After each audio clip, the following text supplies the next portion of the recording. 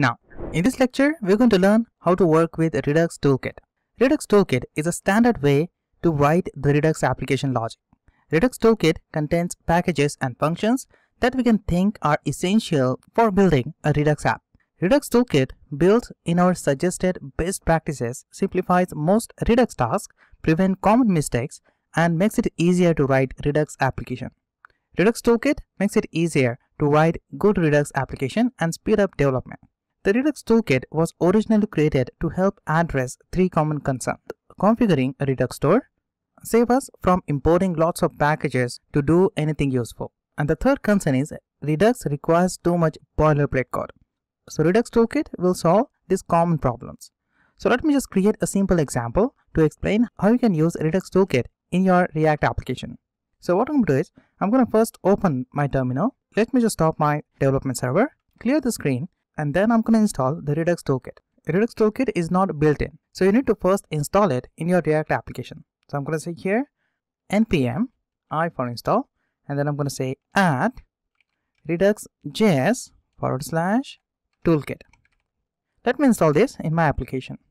So I'm going to press enter. Now once I have this package, let me clear the screen, start the development server again. Let me close this and now I'm going to create a new folder for this Redux toolkit. Inside this Redux, I'm going to create a new folder and name it toolkit. And inside this toolkit, I'm going to create a simple example to understand how to create a Redux toolkit. I'm going to first create a new file and name this file store.js. To create a store in Redux toolkit, you need to first import the Redux.js toolkit. So to do that, you need to first simply say here import statement and in the curly braces, you need to just import the function called configure store from at the rate Redux.js toolkit. So from this package, you need to import a function called configure store. And using the store, we're going to create the Redux store. So just down here, I'm going to say here export default and then I'm going to say here configure store and in the parentheses I'm going to pass an object and here this configure store is going to take a reducer as a parameter. So I'm going to say here reducer and here you need to pass your reducer in this object. For now I'm going to leave this as it is and inside curly braces you need to pass your reducer. I don't have my reducer so let me create a new reducer. So let me save this file close all these unwanted files from here like this and inside this toolkit I'm going to create a new file and name it reducer.js and just for that I'm going to create another file here inside this toolkit and name it counter.js inside this counter file I'm going to create a simple example of counter instead of writing the same code again and again in every example let me copy my previous code and specify that here now let me explain this component. I'm going to first create a counter function.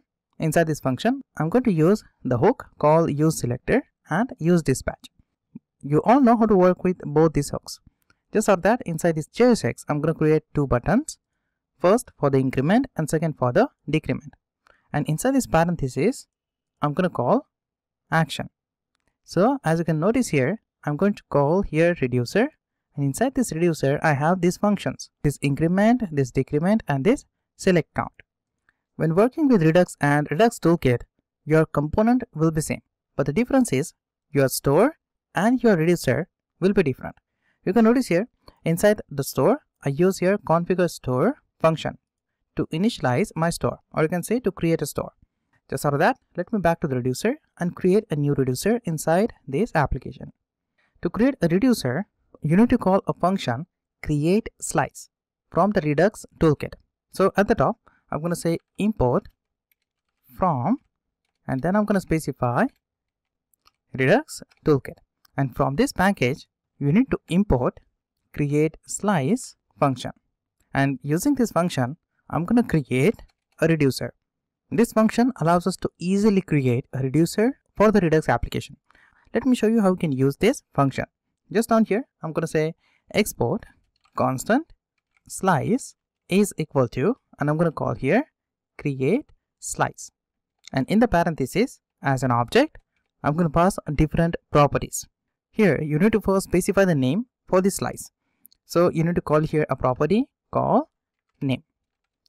That's upon you, you can specify any name to this slice. I'm going to specify here counter.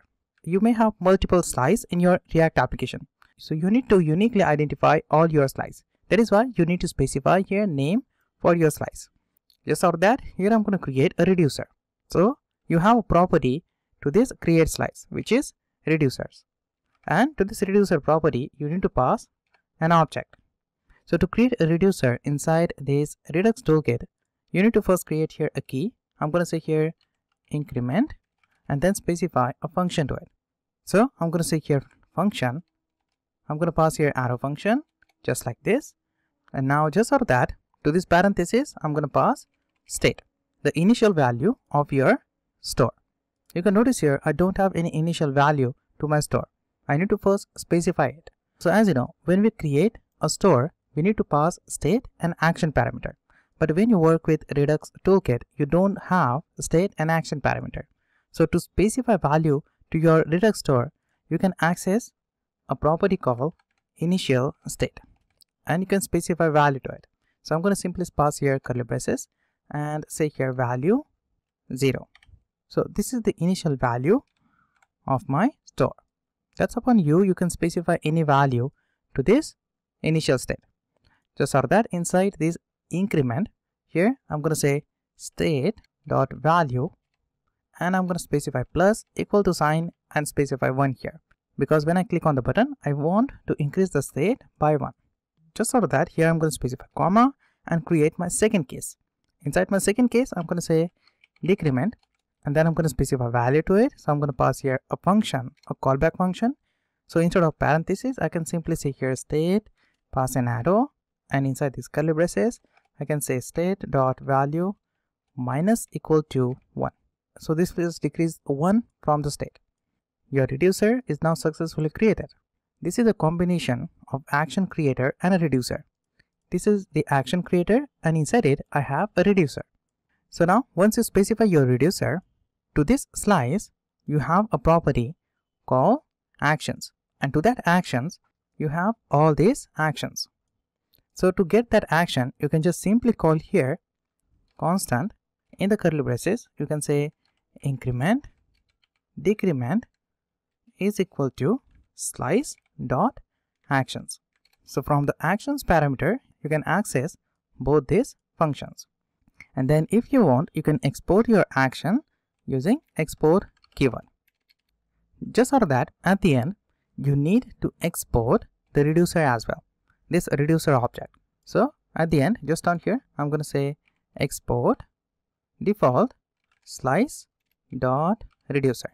So now you can pass this reducer to your store. Let me save this file back to the store and let me first import and I'm going to specify here counter reducer from in the single quote I'm going to specify reducer. So once I have my reducer I can pass that to this reducer object like this.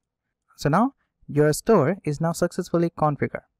Let me save this file back to the reducer, save this file as well and back to your counter. Inside my counter component, I just imported the reducer file and from this file, I imported three functions, increment, decrement and select count.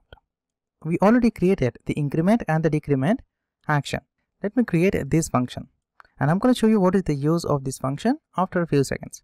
Let me first create it and just up here I'm going to say export count is equal to and then I'm going to specify here state and then I'm going to simply return a state. Let me first show you the result. I'm going to say here console.log and I'm going to print here state. Save this file back to your index.js and let me just import counter here. Instead of this combine, I'm going to say here counter from Redux toolkit. From the toolkit, I need this counter component. Just for that let me just import my store as well. Get rid of this specify the toolkit and my store file. I'm going to get here counter reducer and inside it i have here a value. Let me just access it. So here i'm going to say dot counter reducer.